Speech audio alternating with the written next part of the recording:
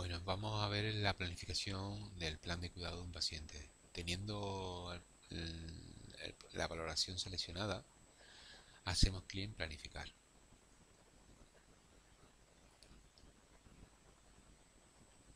Nos ofrece una pantalla que si hacemos clic en el botón de la leyenda, nos indica qué significa cada icono. La estructura es la siguiente tenemos un diagnóstico, en este caso riesgo de caída, que aparece en el plan de cuidado del valor que tiene este paciente en la escala de Auton, que sale a su vez de la valoración que hemos realizado, con una NO que es conducta prevención de caída, con una serie de indicadores como son uso correcto de dispositivo de ayuda, adaptación a la altura adecuada del váter, etcétera, y cada indicador no contiene una intervención de enfermería o varias, en este caso una sola que es prevención de caídas. Bien. Si vemos la leyenda, eh, está marcado, los iconos tienen unos signos como son igual o el más, dependiendo si existían en el plan de cuidado anterior que tenía el paciente. Y, por ejemplo, el igual significa que existía en el plan anterior y que se ha creado también el nuevo plan.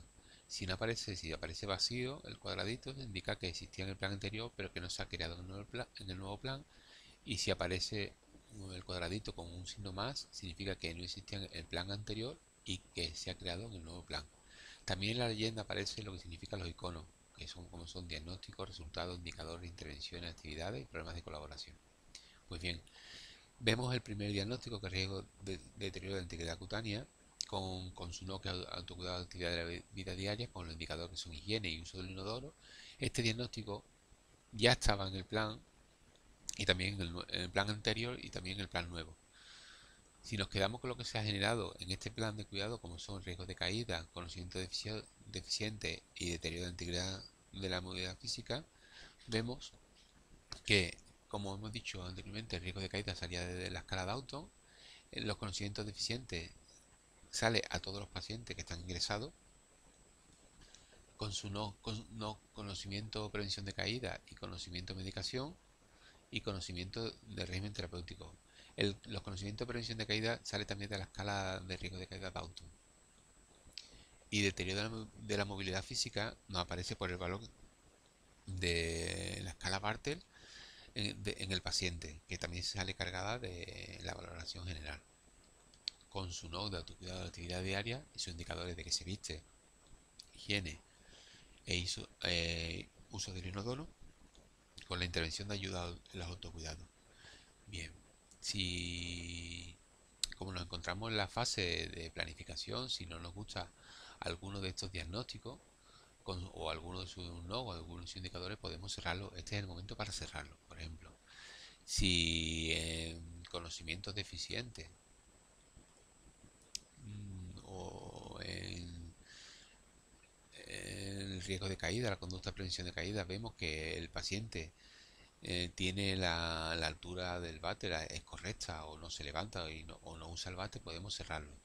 Seleccionamos el indicador no, hacemos, hacemos clic en el botón derecho y le damos a cerrar y desaparecerá.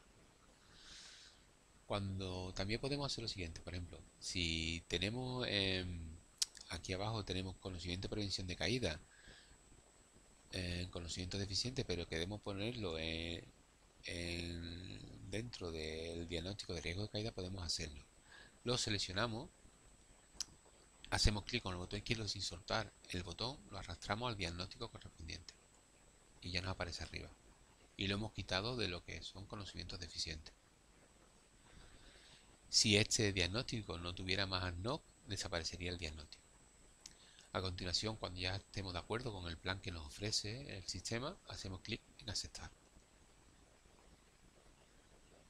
A continuación nos ofrece el plan que hemos aceptado, pero podemos hacer más cambios. Por ejemplo, todos los indicadores, ¿no? Como son piel intacta o se viste, uso del inodoro, higiene o la adaptación a la altura adecuada de la silla, eh, podemos modificarlo porque todos los indicadores por defecto cuando se activan tienen el valor en su escala Likert de 1.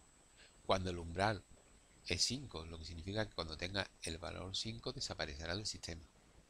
Por ejemplo, si la altura de la silla es, no es 1 porque no, es, no está comprometida tanto la altura de la silla en, en la habitación del paciente, podemos modificar ese valor por defecto que tenía de entrada. Le podemos decir que en verdad no tenía un 1, tenía un 3 a la entrada marcamos el 3, hacemos clic en el check y ya se queda guardado el valor de 3 por defecto.